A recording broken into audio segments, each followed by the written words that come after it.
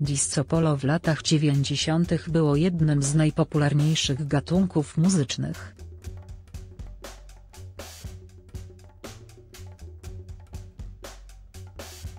Wśród najbardziej popularnych piosenek tamtego okresu był humorystyczny hit Mydełko Fa.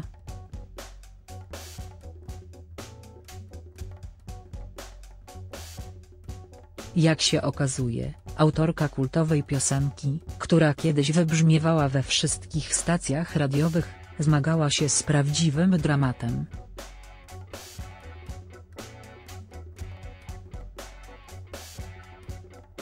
Jej historia przeraża i jest cenną lekcją dla wszystkich gwiazd muzyki.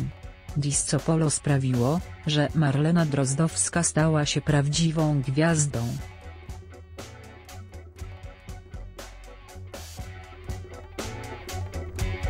Piosenkarka, która nagrała legendarną piosenkę Mydełko Fa, dzięki swojemu hitowi stała się legendą lat 90.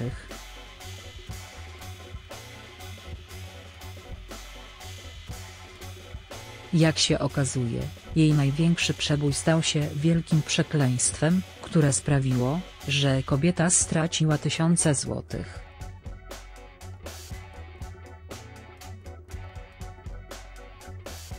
Wstrząsająca historia gwiazdy Disco Polo pomimo tego, że hit Mydełko Fa był prawdziwym przybojem roku 1991, to Marlena Drozdowska, która śpiewała w utworze ma do niego bardzo mieszane uczucia.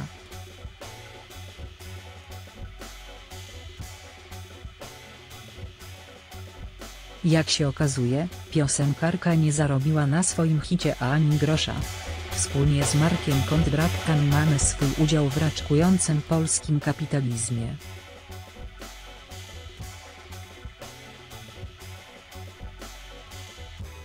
W 1991 roku nagraliśmy Mydełko Fa. Miała to być satyra, od początku do końca piosenka prześmiewcza,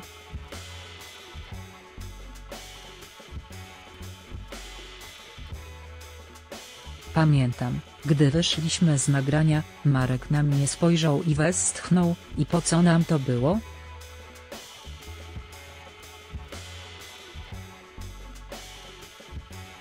Następnego dnia jestem na placu Konstytucji i z każdego miejsca słyszę naszą piosenkę.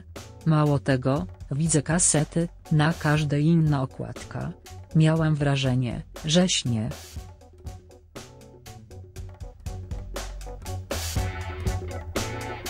Podeszłam do jednego ze sprzedawców, a on mi zachwycony mówi, mamy fantastyczne nagrania, a jedna z piosenek jest naprawdę hitem, Mydełko Fa.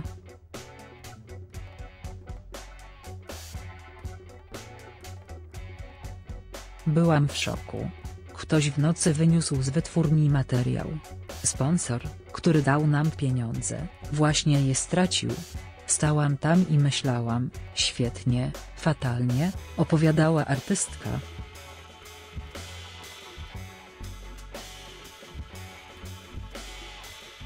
Fani domagają się mydełka fa na koncertach pomimo tego, że Drozdowska nie zarobiła na swoim największym hicie ani grosza, to jak sama przyznaje, jej największy hit nadal cieszy się wielkim wzięciem wśród widowni jej koncertów, która domaga się utworów w repertuarze artystki.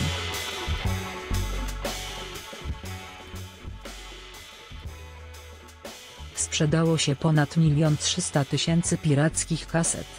Firmie Henkel, produkującej mydełko, zrobiliśmy reklamę stulecia.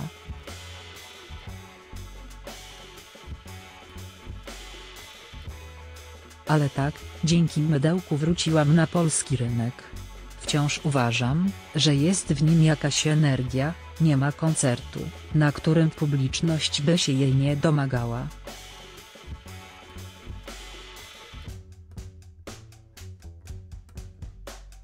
Dzięki niej spełniłam wiele marzeń.